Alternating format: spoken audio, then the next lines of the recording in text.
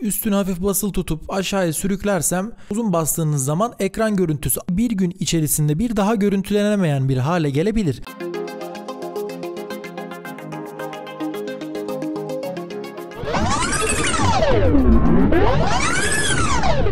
Herkese merhabalar.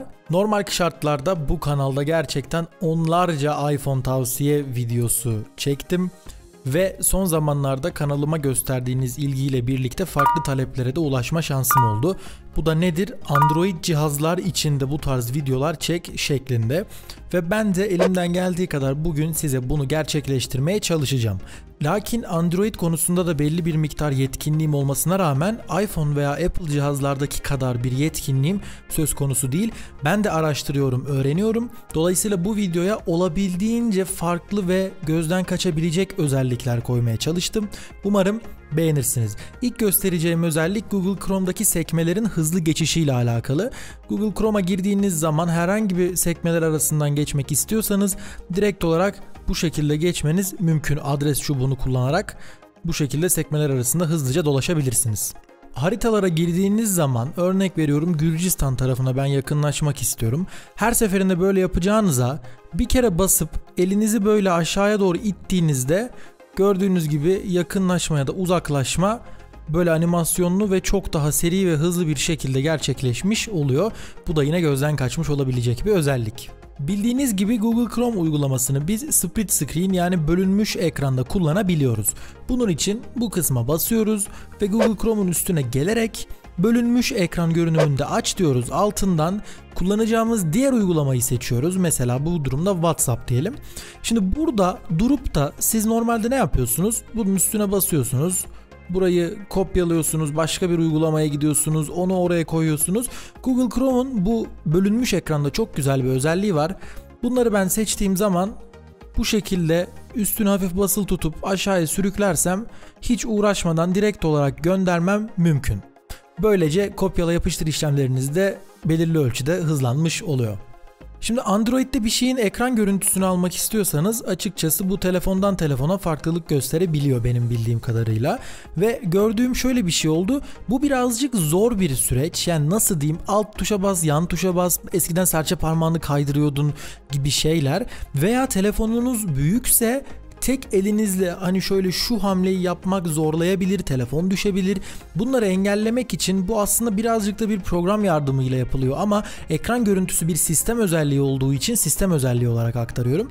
Bu tuşa uzun bastığınız zaman ekran görüntüsü almanızı, direkt olarak buradan paylaşmanızı ve indirmenizi sağlayan bir programdan bahsetmek istiyorum. Bu programın ismi Screenshot Assistant diyor. Zaten bastığınızda hiçbir şey yok. Bunu indiriyorsunuz size bazı şeyler tarif ediyor. Erişilebilirlik kısmına geldiğimiz zaman burada e, asistan yerine bu uygulamayı atıyoruz ve böylece bu uygulamayı buraya basılı tuttuğumuz zaman ekran görüntüsü alacak şekilde programlamış oluyoruz.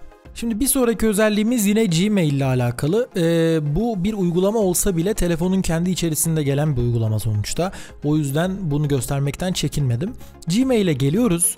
Gmail'e girdiğimiz zaman yolladığımız postanın üzerindeki 3 noktaya basarak bunu gizli moda alırsak eğer böylelikle geçerlilik sonu ayarla diye bir seçenek var. Bu da nedir?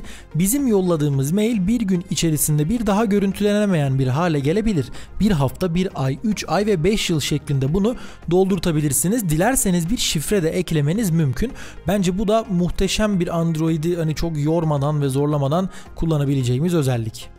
Şimdi sıradaki özelliğimiz web sayfalarını görüntülemekle alakalı. Normal bir web sayfasını görüntülediğimizde karşımıza çıkan metinlerin karışık, animasyonlu ve büyük veya sığmayan şekilde olmasını Google Chrome'un kendi içerisinden engelleyebiliyoruz. Ayarlar kısmına geliyoruz ve aşağıdan erişilebilirlik kısmına basıyoruz. Web sayfalarının basitleştirilmiş görünümü kısmını aktive ettiğimizde eğer web sayfası bu ayarı destekliyorsa çok daha kolay, basit ve bir bütün halinde okumamız okumamız gereken şeyleri okuyabiliyoruz.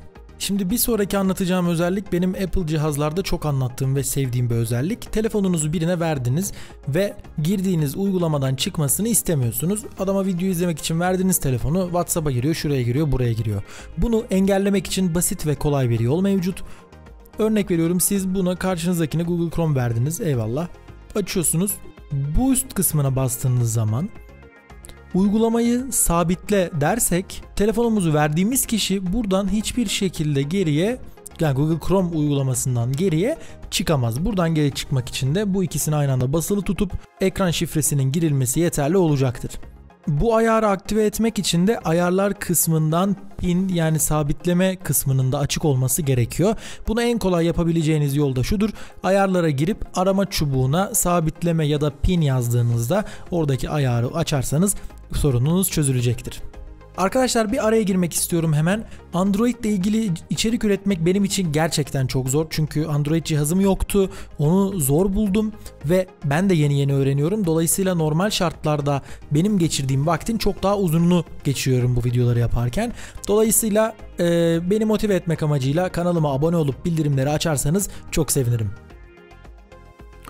Şimdi sıradaki özelliğimiz telefonunu iş için veya öğrencilik hayatı için çok kullananlara faydalı olacak bir özellik. Bu özelliğin amacı şu. Ekrana bir kısa yol giriyorsunuz ve girdiğiniz kısa yolun ardından klavyeniz size bunun full formunu yansıtıyor. Bu ne demek? Örneğin ben öğrenciyim ve öğrenci numaram 11 rakamlı uzun bir numara. Tabi yıllar geçti artık bunu ezberledik ama ben klavyeye no yazdığım zaman otomatik olarak öğrenci numaramı dönüştürmesini isteyebilirim. Mail adresimi dönüşmesini isteyebilirim ve bu da bana gerçekten çok büyük zaman kazandırır. Ayarlara giriyoruz ve alt kısımlardan genel yönetime geliyoruz. Dil ve girişe basıyoruz. Ardından ekran klavyesine ve Samsung klavyeyi seçiyoruz.